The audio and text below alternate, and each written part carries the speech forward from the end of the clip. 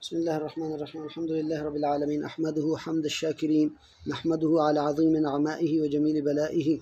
ونرغب إليه من في التوفيق والعصمة. ونبرأ إليه من الحول والقوة.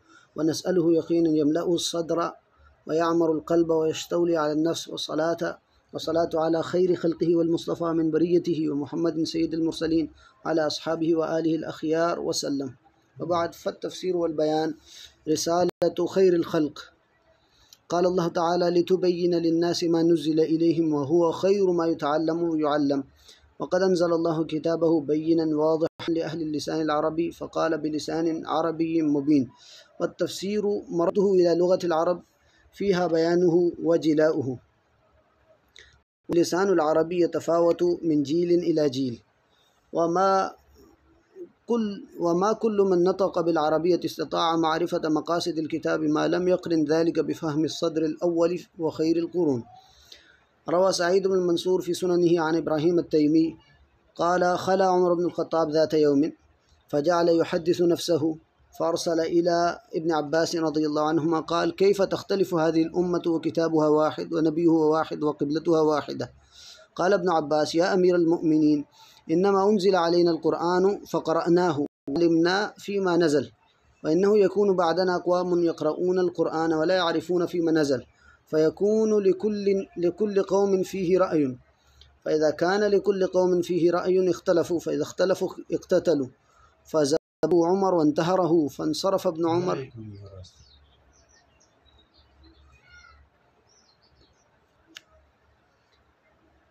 فزبره عمر وانتهره فانصرف ابن عباس ثم دعاه بعد فعرف ذلك قال ثم قال إيه أعد علي. وقد كانوا يحفلون بالمعاني وينصرفون إليها ويعتنون بها علما وعملا ولا يرون الإكثار من الحفظ مع عدم الفهم وذلك أن الحفظ يزاحم الذهن في الانشغال بالمعاني. والعقول مجبولة على عدم قبول قول إلا مع فهم مع فهم معناه على وجه صحيح. فإذا لم تفهم الوارد إليها على الوجه الصحيح سبق إليه الفهم الخاطئ واستقر فيه وشق على الإنسان التحول عنه. ولو تحول عنه مرة لوجد الذهن يرجع إلى أول فهم. ولذا قل الخلاف في الصحابة وكثر في غيرهم. أنواع التفسير. روى ابن جرير في تفسيره عن ابن عباس رضي الله عنهما التفسير على أربعة أوجه. وجه تعرفه العرب من كلامها. وتفسير لا يعذر أحد بجهالته. وتفسير يعلمه العلماء. وتفسير لا يعلمه إلا الله. فجعل ابن عباس أنواع التفسير أربعة. الأول وهو الأصل ما يعرفه أصحاب اللسان العربي الصحيح لأن القرآن بلسانهم نزل فيلتمس تفسير فيلتمس تفسير ألفاظ القرآن في الشعر العربي الجاهلي وما بعده بقليل قبل تسلط العجمة ويأتي مزيد كلام على هذا النوع. والثاني ما لا يعذر أحد بجهله من أهل العربية لظهوره ووضوحه عند أهل السليقة وهذا أصل النوع الأول وذاك فرع منه. الثالث ما يعلمه العلماء العارفون بالوحي وكلما كان العالم بصيرا بالسنة ووجوه اللغة, ووجوه اللغة وأسباب النزول وعمل الصحابة كان بالتفسير أبصر.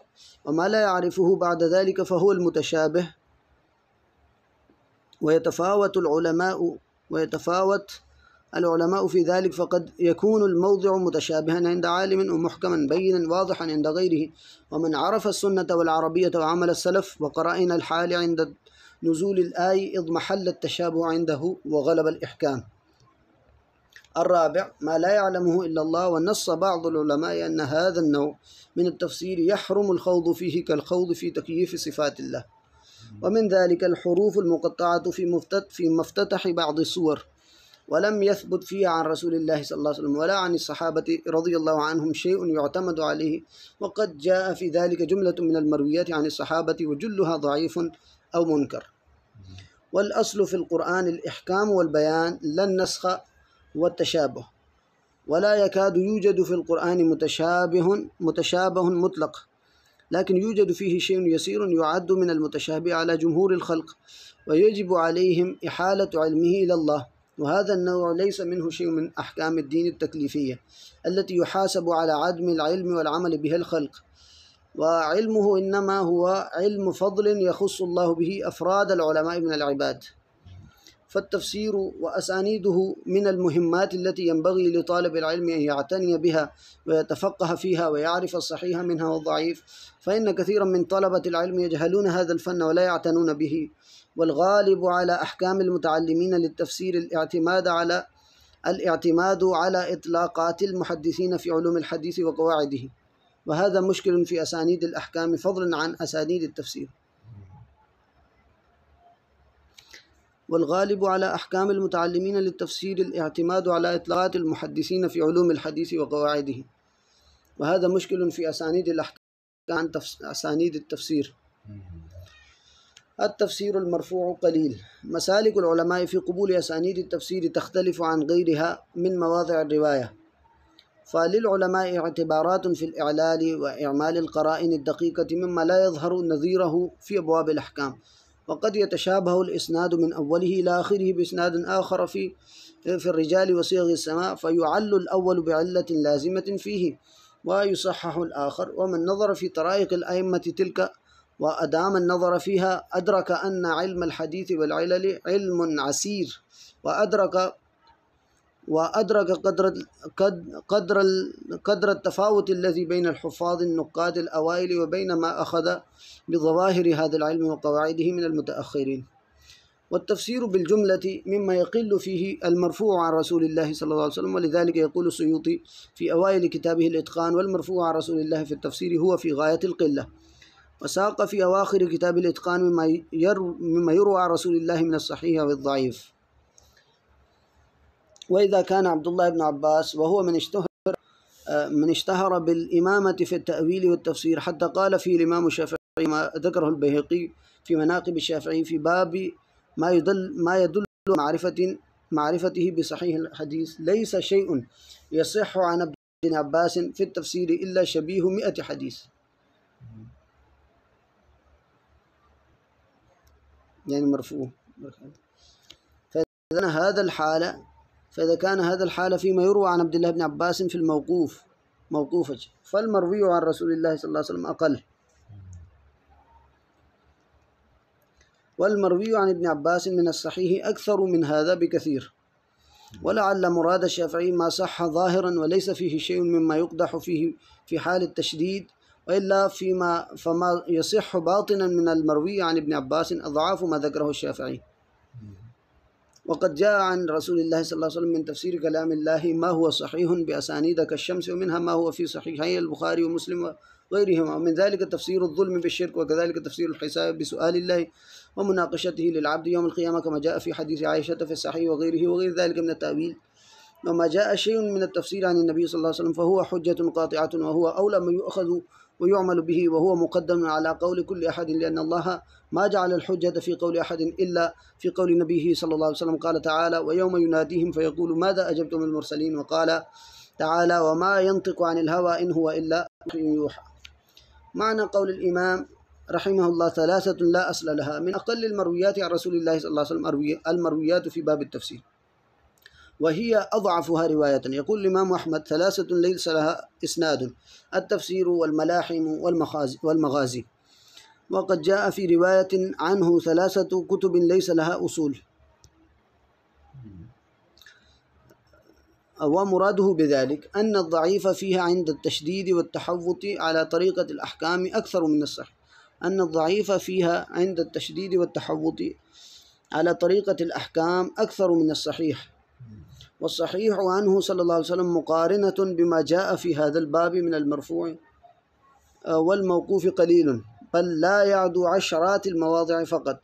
وهكذا فسره المحققون من أصحاب أحمد كما حكاه الزركشي في البرهان. بقوله قال المحققون من أصحابه مراده أن الغالب أنه ليس له ليس لها أسانيد أسانيد صحاح متصلة وإلا فقد صح من ذلك كثير كتفسير الظلم بالشرك في آية الأنعام والحساب اليسير بالعرض والقوة بالرمي وغيره. وكثير من المرفوع في باب التفسير في عداد الضعيف والمنكر والموضوع ولذلك قال ثلاثة ليس لها إسناد أو لا أصل لها يعني ليس لها إسناد يعتمد عليه وإن وجد فوجوده كعدمه بخلاف ما يفهمه بعضهم من ظاهره من ظاهر لفظه أنها تروى بغير إسناد وهذا غير صحيح. فإن الإمام أحمد قد أخرج جملة من الأحاديث في مسنده وقال في موضع آخر من سؤالاته وغيرهما وغيرها إنها ليس لها إسناد أو ليس لها أصل وهو أعلم الناس بما يروي والأمثلة على ذلك كثيرة. من ذلك ما رواه في مسنده من حديث ابن عمر مرفوعا من اشترى ثوبا بعشرة دراهم وفيه درهم حرام لم تقبل له صلاة ما دام عليه. قال فيه في رواية أبي طالب هذا ليس بشيء ليس له إسناد. ومنها ما رواه عن ابن مجلد مجلد عن أبي هريرة رضي الله عنه عن عن ابن عمر رضي الله تعالى عنه أن النبي صلى الله عليه وسلم سجد في الركعة الأولى من صلاة الظهر فرأى أصحابه أنه قرأ تنزيل وقد قال أحمد ليس له إسناد. ومنها آه، حديث حديث كنا نعد الاجتماع إلى أهل الميت وصنعة الطعام من النياحة. رواه في مسنده ونقل عنه أبو داود في سؤالاته قوله فيه لا أصل له وغير ذلك كثير. وكثير من الأحاديث المسندة لا يفرق العلماء بين وجود إسنادها وعدمه لاطراحه وضعفه. تساهل السلف في التفسير. لما كان الرواة الثقات يعتنون بأمور, بأمور الديانة ومسائل الأحكام الظاهرة التي يخاطب بها الناس في حياتهم وحرصوا عليها ونقلوها وتحروا ثبوتها وتساهلوا مع ذلك في غيرها. ولما حفظت الشريعة وبدأ بتدوينها ظهرت العناية بعلوم التفسير والسير والتاريخ والفتن والمغازي وغيرها وكانت هذه العناية في عهد التابعين أظهر منها في عهد الصحابة وفي أتباع التابعين أظهر من التابعين وفي أتباع أتباع التابعين أظهر من أتباع التابعين وهكذا حتى استقر تدوين العلوم. وفي الغالب فالمبرزون في التفسير والسير والمغازي لا يصلون لمتوسطي الثقات من رواة أحاديث الأحكام. ولهذا كثر في أسانيد التفسير الضعيف والواهي والمنكر والموضوع فلم يحمله الكبار ولم يعتنوا به. كشعبة وسفيان ومالك وابن مهدي وغيرهم من الأئمة الحفاظ الكبار الأثبات وإن كانوا قد رووا جملة من ذلك. والأئمة يتساهلون في التفسير ولا يتساهلون في أدلة الأحكام. قال عبد الرحمن بن مهدي رحمة الله عليه إذا روينا في الثواب والعقاب وفضائل الأعمال تساهلنا في الأسانيد وتسامحنا في الرجال وإذا روينا في الحلال والحرام والأحكام تشددنا في الأسانيد وانتقدنا الرجال. وقال يحيى بن سعيد. تساهلوا في أخذ التفسير عن قوم لا يوثقونه لا يوثقونهم في الحديث. ثم ذكر ليس بن أبي سليم وجويبر بن سعيد والضحاك ومحمد بن سائب. وقال هؤلاء لا يحمد أمرهم ويكتب التفسير عنهم. رواه البهقي عنه في الدلائل. والكتابة عنهم في التفسير تحتمل. لأنهم قد اعتنوا بذلك فصاروا من أئمة التفسير وكذلك من أئمة اللغة ويحدث عن هؤلاء الضعفاء وإن كان بعضهم لا يعتمد عليه. سبب عدم عناية الأوائل بالتفسير سبب عدم عناية الحفاظ الأوائل بالتفسير يرجع إلى أمور. أولا الانشغال بالأحكام والمسائل الأصول وفروع الأحكام التعبدية كما تقدم بيانه. ثانيا أن القرآن نزل بلسان عربي مبين يفهمه عامة الناس في الصدر الأول وتفسير ألفاظه وبيانه من فضول العلم عند كثير منهم. بل إن فهم الأعرابي منهم لألفاظه ومقاصده يفوق فهم كثير من كبار المفسرين من المتأخرين. وما نزل القرآن إلا ليفهمه الناس بلا تكلف وبيان وهذا مقتضى التكليف بمجرد السماع وبلوغ الحجج للأسماع كما قال وإن أحد من المشركين استجارك فأجره حتى يسمع كلام الله لأن الأصل أن القرآن يفهم بمجرد سماعه عند جمهور الخلق ولكن لما, تسوع لما توسعت بلدان المسلمين وكثرت الفتوحات واختلط العرب بالعجم ودخلت العجمة على اللسان العربي فاحتاج असल जो है बुखारी की हदीस है और उस हदीस के मतलब شاعری کی بات اتنی اہم نہیں ہے۔ بھائی نہیں اصل تو قرآن کا متن ہے۔ اور کسی مفسر کی تفسیر ہاں، ہاں، اس اس طرح سے دیکھی ہوتی ہے نا۔ اسی طرح سے کسی حدیث کے اشارے کی بات۔ اس لیے اس کو تخفیر ہے اور دوسرا یہ نا کہ جو حدیث حدیث کا معاملہ ہے وہ ڈائریکٹ حدیث تک رسائی کا معاملہ ہے۔ اس لیے اس کی توثیق اور بہت tight اور مضبوط رکھنا ضروری ہے۔ کیا آپ متن تک کے نہیں پہنچتے۔ متن کی ایک تشریح کسی نے کی ہوگی جس طرح کہ وہاں حدیث کی شرح تک آپ جاتے ہیں تو کسی شارح کا سہارا لیتے ہیں وہ صحیح بھی کہہ سکتے ہیں غلط بھی اہمیت نہیں ہوتی۔ بنیادی اصل میں نقطہ یہ ہے۔ جی جی۔ یعنی کچھ کچھ فرق ہوئی ہے نا۔ کہ وہاں آپ جو حدیثوں کے اندر سختی ہے وہاں حدیث تک رسائی کے لیے سند چاہیے یا قرآن تک رسائی کے لیے سند نہیں ہے۔ یا قرآن کسی جملے کی تشریح تک جس طرح کہ وہاں حدیث کے جملے کی تشریح تک شارح کی سند ہوتی ہے نا اسی طرح ہے اس لیے اس کا تقاضا کیا فرق ہوگا جی۔ احتاج الناس إلى التفسير. وهذا سبب قلة التفسير المرفوع لأنه لا حاجة إليه عندهم فلو فسروا القرآن لفسروه بما يرادفه فهما. واستوى المفسر والمفسر به من جميع الوجوه أو أكثرها ولا أصبح التفسير حشوا ولا زهد الناس في النظر فيه مع تعذر حصول ذلك منهم. فالعرب تكره الحشو والتكرار وتنزه نفسها عنه والنفوس تأبى أن تفسر لها الواضحات. ذلك مرد ندرة آثار التفسير عندهم. بل إذا كان العربي ينزه نفسه المخاطب عن سماع المترادفات في كلامهم فذلك في كلام الله أولى لأن جل كلامه واضح بين, لا يحتاج لا يحتاج لا يحتاج معه إلى تكلف مع أن الغالب على كلامه الإيجاز والإفهام بأقل عبارة مع أنهم عرب يعربون الكلام سليقة ويعربون الكلام سليقة ولا يحتاجون إلى قواعد وضوابط نحوية بل لم يكونوا يعرفونها لذا يقول الشاعر ज़माने में ना लोग जो है वो पागल ज़्यादा ठीक काम है और पागल आदमी अगर सख्ती करने पर आए तो तब भी काम खराब करता है नरमी भी उसकी जी होती है हम इनमें भी असलूस की तरफ आ गए हैं आसानी वगैरह और एक ज़माना हम पर वो गुजरा है السبر کے كما هو البر اس طرح کی عجیز ہوتی ہے۔ اور ہاں؟ چھوڑو یار سمجھوں کو ہر ضعیف اور موضوع اٹھائی اور عمل ہمارا رہا ہے اس میں یعنی جانت کا زمانہ گزرا نا یار۔ وہ وہ انتہا تھی نرمی کی۔ اب اس طرف آئے ہیں سائیں کی طرف آئے ہیں تب اس سے انتہا کو نکلیں اور وہی خلاصتاً بات ہے کہ پاگل آدمی نہ اسے آپ سختی کروائیں نہ نرمی کروائیں۔ उसे आप सख्ती करवाएं ना नरमी करवाएं नरमी पर आएगा तो कपड़े उतार देगा हम्म, सख्ती पर आएगा तो बस छोटी सी बात पर किसी का गला घोंट जाएगा कि क्यों ऐसा किया? हम्म। पागल है ना उसकी हम्म, لذا يقول الشاعر ولست بنحوي يلوك لسانه ولكن سليقي ولكن سليقي أقول فأعرب قال الشافعي كان مالك بن أنس يقرأ بالسليقة لهذا امتاز لسان البصريين عن لسان الكوفيين لأنهم أخذوه من منبعه الأصلي وهو لسان الأعراب الأقحاح.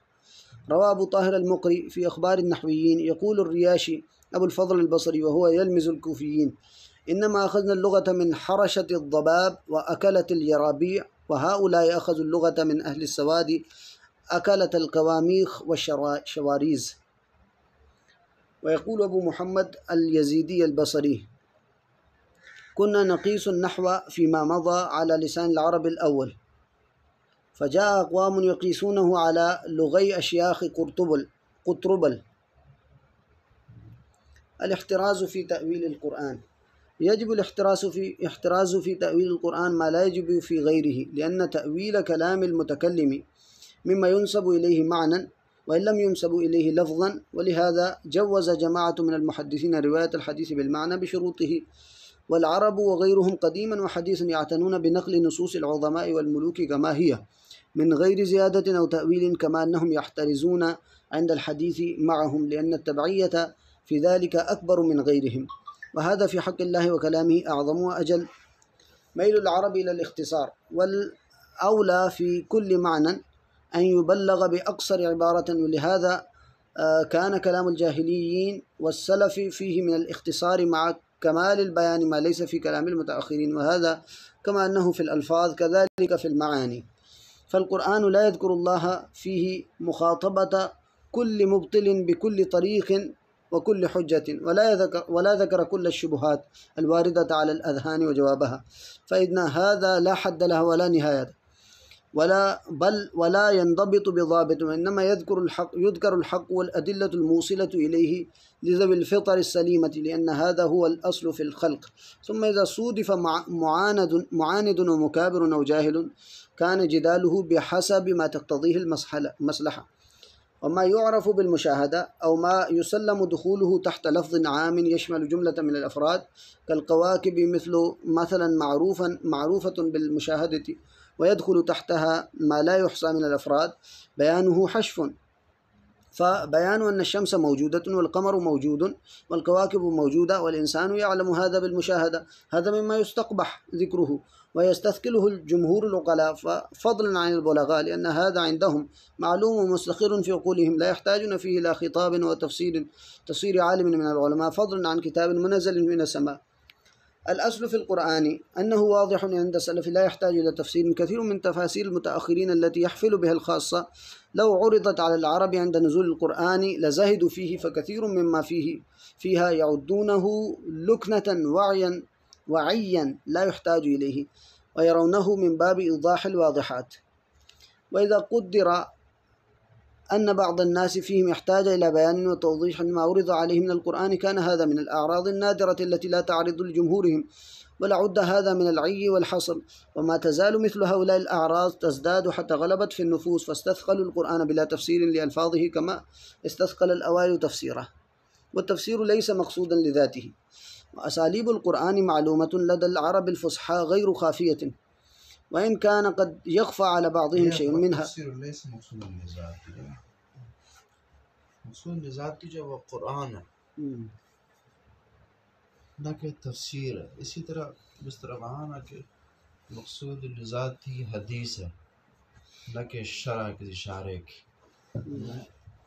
جس طرح شارح کی شرح کے لیے سند کی بہت زیادہ اہمیت نہیں ہے. اسی طرح حتیٰ کہ آپ دیکھ لیجیے، بھلے سو دفعہ کہا جائے لیکن جو مجرحین اور معدلین علماء ہیں، ان کی سندیں کم ہی دیکھی جاتی ہیں۔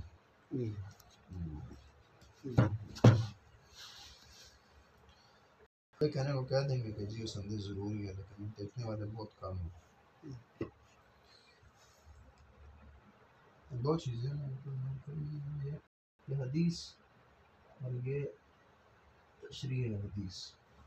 یہ قرآن یہ شرح قرآن تفسیر قرآن۔ ایک اس کی صنعت ایک اس کی صنعت جس میں یہ تفسیر اور قرآن، اس کی صنعت دونوں میں فرق۔ اور والی ترین صنعت قرآن کی، تو بیان کی اور یہ حدیث اور تشریح حدیث۔ حدیث کی صنعت اور شرعی دونوں طرح نہیں ہو سکتی۔ آپ اگر کہیں کہ جی حدیثوں کے جتنی مضبوط شرائط ہے قرآن کی تو ہونی چاہیے۔ ہم کہتے ہیں بالکل اگر قرآن کی شرائط ہوتی پھر کی مضبوط ہونی چاہیے تھی۔ یہ قرآن کی نہیں شرائط۔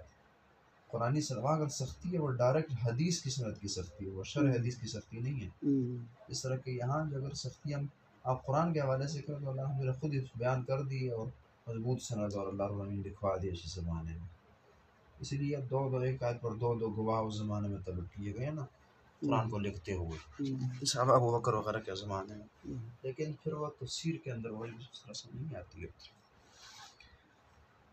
جی وأساليب القرآن معلومة لدى العرب الفصحاء غير غير خافية وإن كان قد يخفى على بعضهم شيء منها وذلك لعزوبها عن معهودها. معهود وعدم اعتياده عليها في لغة في لغة قومه. كما خفي على ابن عباس بعض معاني بعض معاني مفرداته. كلفظ فاطر فقد روى الطبري في تفسيره وأبو عبيد عن مجاهد. قال سمعت ابن عباس رضي الله عنهما يقول اس وجہ کے جیلوں میں لکھنے کی اجازت ہوتی ہے کہ نہیں ہوتی والله أعلم جیل ہے كيف کچھ مراجع بندے کے وقت ہے سن چیز. خیال سے نہیں ہوگی شاید. ادھر کا تو بتا رہے تھے بشکور صاحب کی کتابیں لے کے جاتے تھے۔ نہیں وہ وہاں تو چرسیوں پنگیوں قاتلوں کے لیے ہوتی ہیں نا۔ مذہبی کے اس میں نہیں ہوتی کوئی خاص۔ ایسا جا رہا کہ یہ تصویر تو مذہبی بندے ہی کرتے ہوتے ہیں نا۔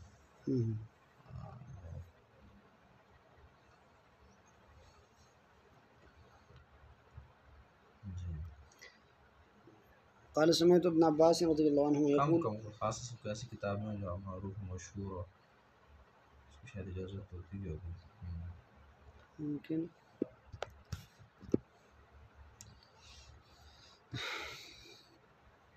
كنت لا أدري ما فاطر السماوات والأرض حتى أتاني أعرابيان يختصمان في بئر فقال أحدهما لصاحبه أنا فطرتها يقول أنا ابتدأ يقول أنا ابتدأتها ومثل ذلك أيضا ما أخرجه ابن جرير عن سعيد بن جبير أنه سئل سئل عن قوله وحنانا من لدنا.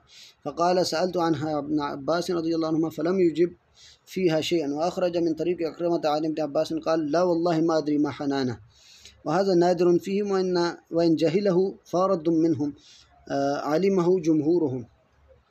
بلاغة السلف سليقة. أساليب القرآن كما كانت على مجاري كلام العرب في يومهم وليلتهم لم يخفى عليهم المراد بها فيعلمون من قوله ذق إنك أنت العزيز الكريم أن هذا الخطاب خطاب امتهان وتهكم أن كانت ألفاظه مما يستعمل في المدح. عرفوا ذلك من السياق لا من اختصاص اللغة. ونظير هذه الآية وصف شعيب عليه الصلاة والسلام بالحلم والرشد في قومه المعاندين. قالوا يا شعيب وصلاتك تأمرك أن نترك ما يعبد آباؤنا وأن نفعل في أموالنا ما نشاء إنك لأنت الحليم الرشيد. قد يتبادر إلى ذهن القارئ أن المراد بذلك إنك حليم رشيد والصواب لست بحليم ولا برشيد قال ابن عباس وغيره. وهذا ونظائره لم يكن منهم بجهد ولا تكلف فهي لغتهم والتي يحدثون بها ولأنها كذلك لم ينصوا في كل موضع على المقصود منه في القرآن. ولو قيل لأعجمي يعرف آه، لأعجمي يعرف معاني الألفاظ فسر الآية لفسرها على غير وجهها لأن الأمر متعلق بسياق لا بذات اللفظ. يعني أجمیوں سے یہ ولما تقادم العهد ودخلت العجمة على الأعرب لاختلاطهم بالعجب ظهر لهذه الأساليب الفن لهذه الأساليب الفن المدون بعد باسم علم البلاغة. لمعرفة طرائق العرب وتفننها في أساليب خطابها فوضعوا المصطلحات والقواعد لتقريب هذا العلم لا لإتقانه إذ لا يتقنه إلا من تحدث بلغتهم وحفظ أشعارهم ومنثورهم وهذا يعز وجوده في المتأخرين متأخرين. نشأة علم البلاغة عرفت البلاغة في عصر عصر متأخري التابعين ثم اشتهرت بعد ذلك وحكي الإجماع على أن البلاغة ما نشأت إلا تحت تفسير القرآن وقد اعتنى بها كثير من الأئمة باستخراج البديع والإعجاز من كلام الله تعالى وصنف معمر بن المثنى كتابه فيها وقيل إنه قد أخذه من نافع بن الأزرق عن عبد الله بن عباس ويحتمل أنه أخذه من غيره وهو إمام في لغة العرب. ونافع عرض ألفاظا من غريب غريب القرآن أشكلت عليه على عبد الله بن عباس إذ جاءه بمكة يسأله عنها واشترط على ابن عباس أن يأتيه على كل مسألة وتف- وتفسير بشواهد من أشعار العرب.